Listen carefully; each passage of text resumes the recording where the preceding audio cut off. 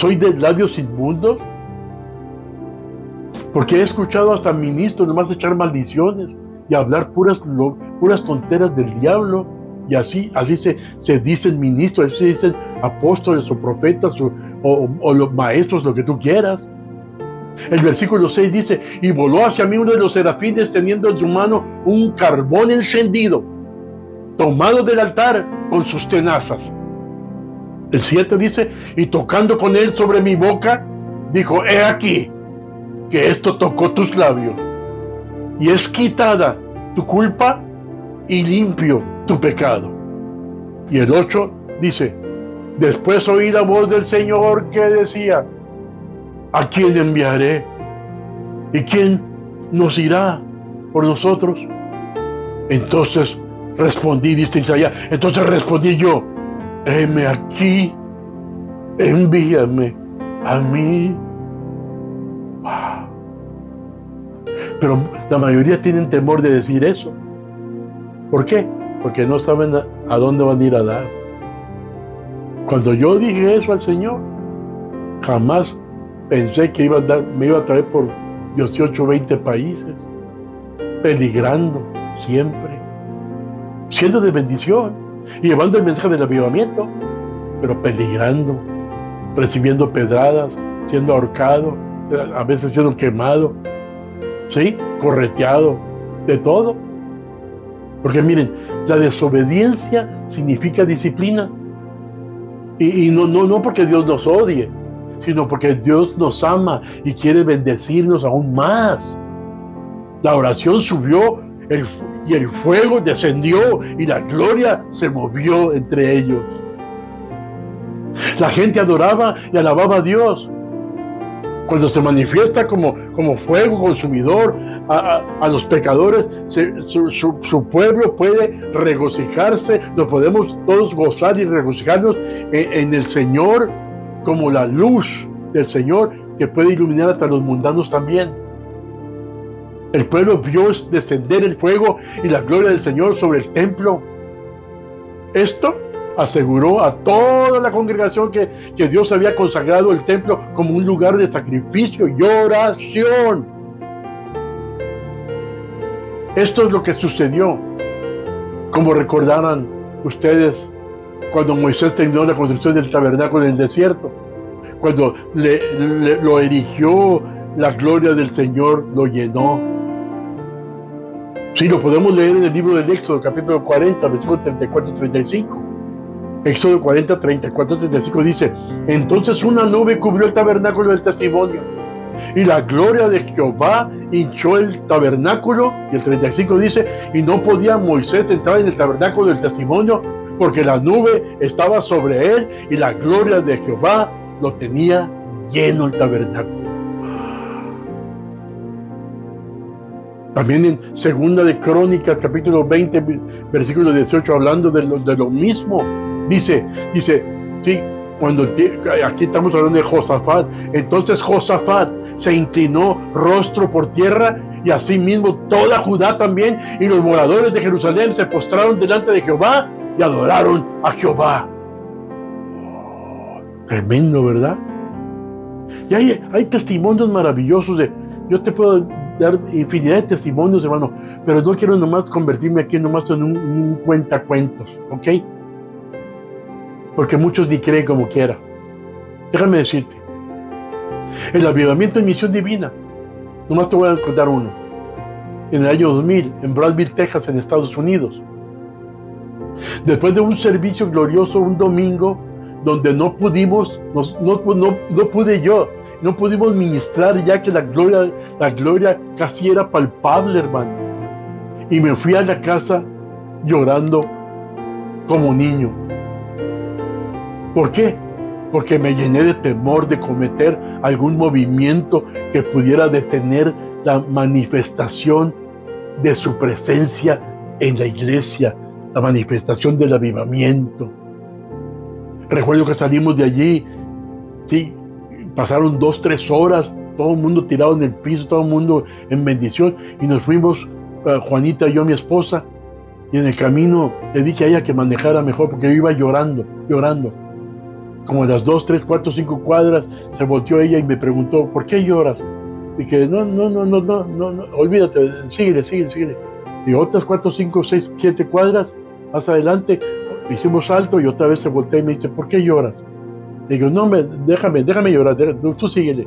Más adelante, ya, más adelante, muy adelante, en otro alto, alto, se voltea y me dice, bueno, ¿qué tienes? ¿Qué te sucede? ¿Por qué lloras? Dije, bueno, ¿quieres saber? Porque tengo miedo, le dije. Tengo miedo a hacer un movimiento, algo que no debo hacer y que separe el avivamiento. Por eso lloro. Y por eso ahorita, hablando de esto, hermanos, que me sucedió a mí, es hora de avivamiento en Estados Unidos y en el mundo. En tercer lugar, para ir terminando,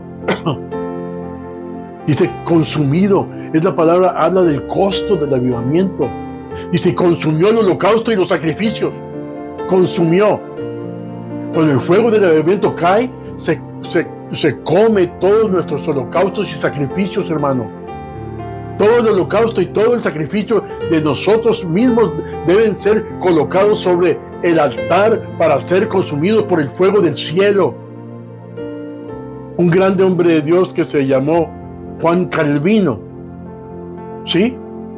Dijo, dijo de esta forma, dijo algo así, dijo, te lo doy todo. Cuando el Señor habló con él en un ayuno y oración que, tuvo por días, el Señor vino y habló con él y, y Juan le dijo al Señor, te lo doy todo, no me guardo nada para mí. Es bueno que todos pensemos de esa forma. Porque aquí en el pasaje que estamos estudiando, descendió fuego del cielo y consumió el holocausto. Cada acto de adoración iba acompañado de un sacrificio. La corriente de fuego sobrenatural encendió la, la, masa de carne y fue una señal de la aceptación divina del, de la oración de Salomón. La gloria del Señor, mis hermanos, llenó la casa. La nube que era el símbolo de la presencia y majestad de Dios llenó el interior del templo.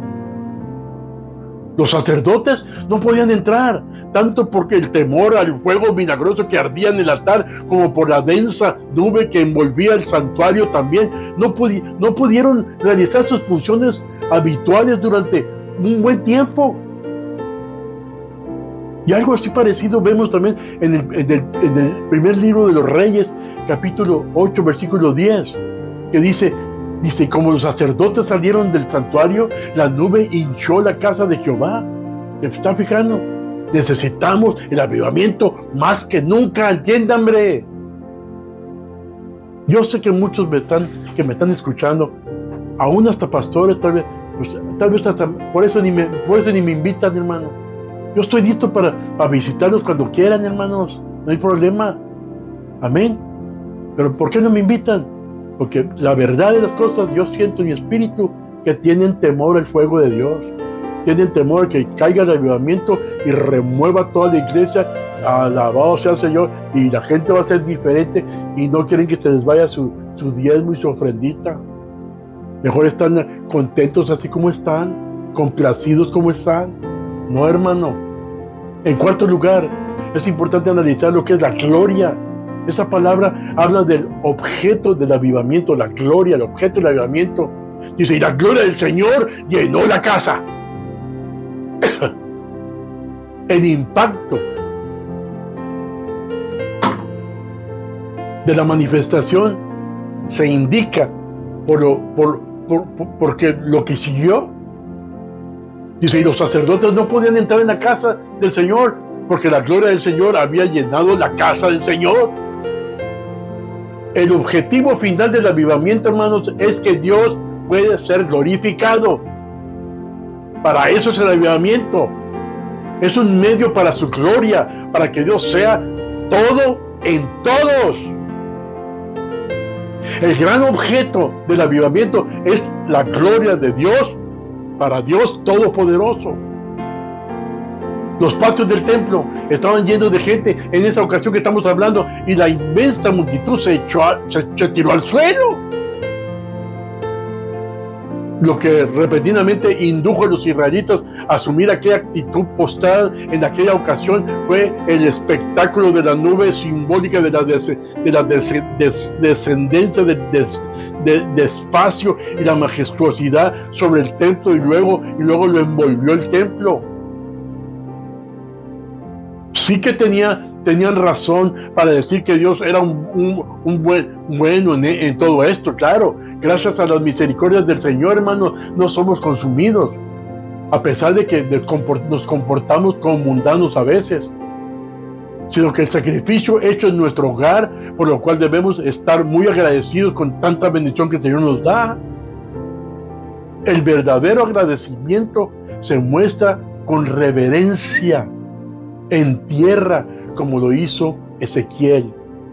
Son pocos los que vemos ya que llegan al altar en la iglesia y no solamente se hincan sobre el altar, sino que se, ponen su, frente, su cabeza en, el piso, hermano.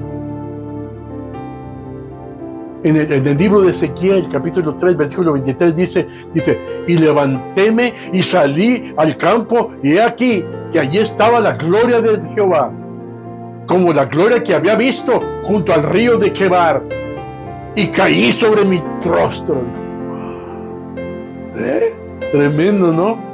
Porque mire, también el verdadero agradecimiento se muestra con reverencia. Así, con el rostro en tierra, como lo hizo también Daniel. En el libro de Daniel capítulo 8, versículo 17, Daniel 8, 17 dice, vino luego cerca, cerca de donde estaba yo, y yo estaba, y con su venida me asombré cuando llegó el ángel y caí sobre mi rostro, pero él me dijo, entiende, entiende, hijo del hombre, porque el tiempo se cumplirá, a su tiempo se cumplirá la visión. Esto es algo maravilloso, hermano.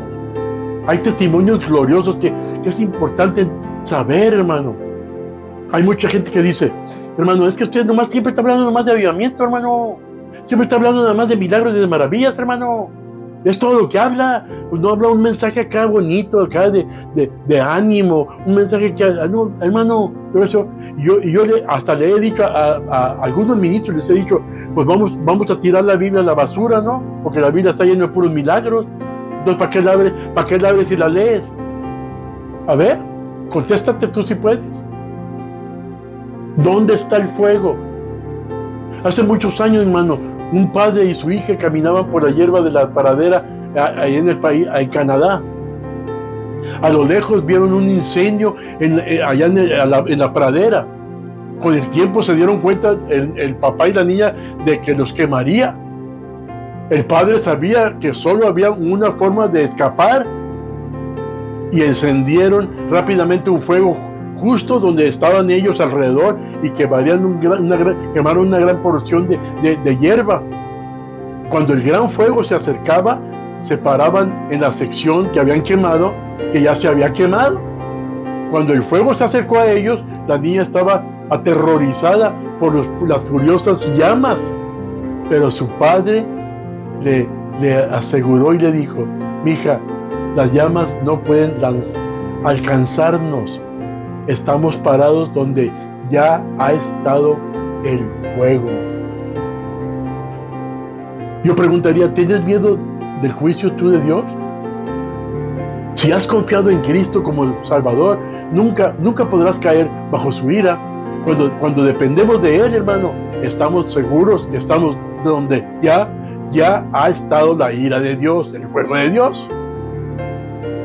Y mire, déjame decir, hermano, se necesita el avivamiento más que nunca, como estoy diciendo, hermano. A que, a que parezca una, una, cotorra que repito lo mismo, no me, no me importa. A ver si así entienden. Porque Satanás piensa que con todo lo que está sucediendo en el mundo, como la noticia que dio ahorita al principio, Satanás piensa que, que la tiene ganada, pero Satanás está equivocado, porque Jehová siempre es el rey y siempre impera. Mira, hay noticias de bendición